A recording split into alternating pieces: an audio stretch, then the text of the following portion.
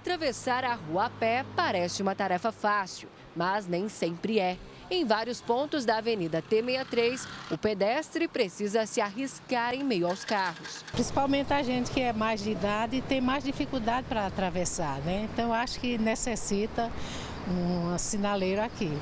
O que importa mais é a gente observar muito, mas tem muitos motoristas que às vezes não respeitam o sinal, é o perigo, né? Semáforo por aqui, como em quase toda a cidade, apenas para os motoristas. Tentar atravessar aqui para mostrar para vocês, olha só, o sinal ali fechou agora e a gente vai atravessar, mas logo logo que a gente percebe é que ali do outro lado, dá só uma olhada, olha só, já abriu. Então, uma pessoa idosa, uma pessoa com deficiência, né, Gustavo, vai ter uma dificuldade maior para poder fazer esse trajeto. Corre risco, né? É, tem muito pouco tempo, né? Então, assim, a gente vê aqui que é um local muito frequentado devido aos pontos de comércio e as pessoas simplesmente não conseguem passar, atravessar. Dona Marielza tem 79 anos. Os movimentos são lentos, as pernas já não obedecem como antes. Não tem sinal para pedestre. Nossa, o movimento é horrível. Já vi gente quase atropelada ali de a dificuldade também é grande para quem tem criança pequena.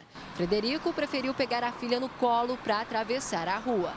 Quando o sinal abre, a gente tem que atravessar correndo, porque senão o carro vem. Com criança pequena fica mais difícil. Mais difícil ainda.